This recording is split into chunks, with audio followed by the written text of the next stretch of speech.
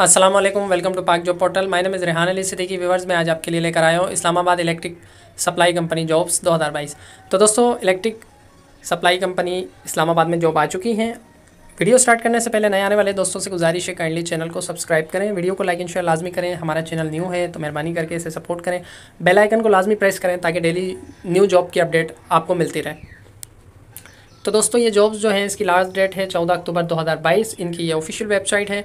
Check कर लेते हैं कि एडवर्टाइजमेंट पहले मैं आपको बता देता हूँ कि क्या क्राइटेरिया है एडवर्टाइजमेंट का। दोस्तों ये एडवर्टाइजमेंट है इसकी, इसके अंदर जो है नंबर वन पे जो वैकेंसी है, वो है जूनियर इंजीनियर की इलेक्ट्रिकल इसके लिए B B S C electronic power engineering degree first division में होनी चाहिए सिक्सटी परसेंट मार्क के साथ। और इसमें अप्लाई कर सकते हैं मेरिट पर दो, पूरे पाकिस्तान से डिसेबल कोटा एक है, पंजाब ओपन मेरिट बारह है, पंजाब वोमेन की एक अप्लाई कर सकती है, पंजाब मिनोरिटी से एक अप्लाई कर सकता है। सिंध रूलर ओपन मेरिट एक है सिंध रूलर से जो है वो ओपन मेरिट पर दस लोग अप्लाई कर सकते हैं। सिंध रूलर से वोमेन एक अप्लाई कर सकती है, सिंध रूलर से मिनोरिटी एक अप्लाई कर सकता है।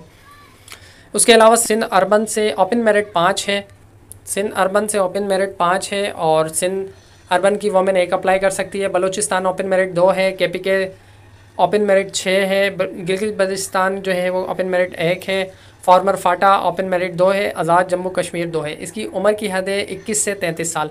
नंबर दो पर वैकेंसी की बात कर लेते हैं assistant director customer service revenue officer की। इसके लिए जो डिग्री होनी चाहिए वो M B M com M S C computer science M S C M S statistic mathematic economics with minimum two second division in the academic career तो दोस्तों, इसके अंदर जो वैकेंसी की तादाद है, ऊपर जो वैकेंसी की तादाद थी engineer assistant engineer junior engineer की जो वैकेंसी की टोटल तादाद थी, वो अड़तालीस थी फोर्टी एट और इसमें जो तादाद है, वो पंद्रह है। देख लेते हैं किस पूरे पाकिस्तान से, कहाँ से कितने लोग अप्लाई कर सकते हैं। ओपन मेरिट पूरे पाकिस्तान से एक अप्लाई कर सकते हैं। पूरे पंजाब से ओपन मेरिट पर पाँच अप्लाई कर सकते हैं। पंजाब वुमेन से एक अप्लाई कर सकते हैं। सिंध रूरल ओपन मेरिट एक अप्लाई कर सकते हैं। सिंध अर्बन ओपन मेरिट एक अप्लाई कर सकते हैं।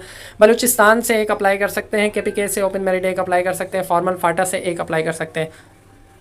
दस percent in house induction quota only for IESCO employees यानी कि जो एम्प्लॉयज़ के चिल्ड्रंस हैं, वो जो है दस परसेंट कोटा के तहत इसमें अप्लाई कर सकते हैं। टोटल तीन वैकेंसियाँ हैं।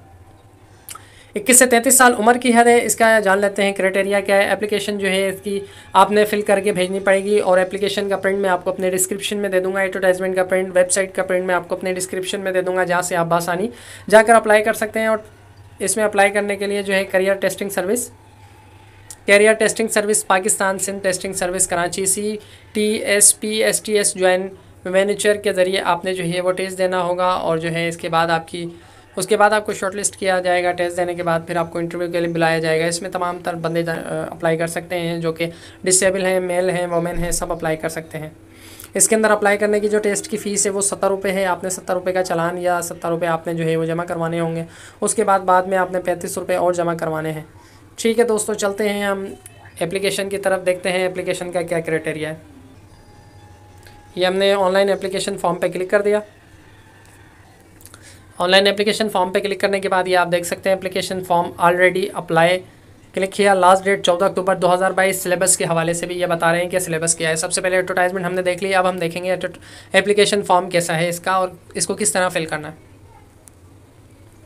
तो दोस्तों, ये इसका एप्लीकेशन फॉर्म खुल गया है। इसमें लिखा हुआ है career testing service Pakistan Sindh testing service JV Islamabad electrical supply company इसमें इंस्ट्रक्शन लिखे हुए इनकरेक्ट और फॉल्स इन्फॉर्मेशन में भी रिज़ल्ट कैंसिलेशन यानी कि अगर आप गलत इन्फॉर्मेशन डालेंगे तो आपका रिज़ल्ट कैंसिल हो जाएगा। लास्ट डेट इसकी चौदह अक्टूबर 2022 है। Please print out the online field application form send the CTC यानी कि जो आप एप्लीकेशन फॉर्म ऑनलाइन फिल करेंगे, दोस्तों, ये ऑनलाइन एप्लीकेशन फॉर्म फिल होगी।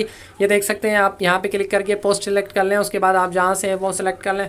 सिलेक्ट करने के बाद आपने पासपोर्ट साइज़ तस्वीर सेलेक्ट करनी है, अपना नाम, पूरा मुकम्मल नाम लिखना है फादर नेम लिखना है C N I C number confirm C N I C number date of birth जो कि आपके सी एन आई सी नंबर पर होनी चाहिए email address current mobile number आपने देना है confirm mobile number postal address house number street number town tehsil city ये तमाम तरह आपने फिल करना है जेंडल फिल करना है मेरिटल स्टेटस ये पूरी एप्लीकेशन बाइजली आप फिल कर लेंगे फिल करने के बाद एकेडमिक क्वालिफिकेशन के हवाले से आप यहाँ पर जो है फिल करेंगे, उसके बाद अगर आप गवर्नमेंट सर्वेंट है तो वो फिल करेंगे।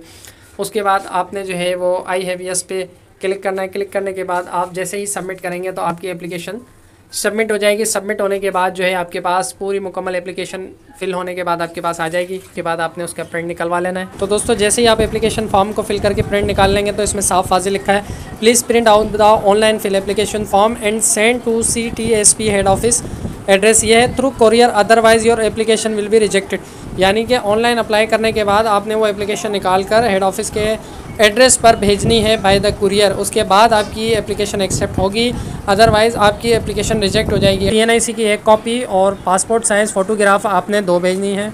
उसके साथ आपने फ़ोटो कापी एप्लीकेशन फॉर्म की लगानी है और भेजनी है C T S P S T T P S T S through तो दोस्तों, ये देख सकते हैं, आप लिखा हुआ है, send courier on the address mention on application form in 15 days 15 दिन के अंदर, इसका एड्रेस जो है वो एप्लीकेशन फॉर्म जैसे आप डाउनलोड करेंगे, उसमें होगा। ठीक है तो ये थी एप्लीकेशन की मालूम अब चलते हैं हम सिलेबस की तरफ़। सिलेबस पर क्लिक कर दिया हमने।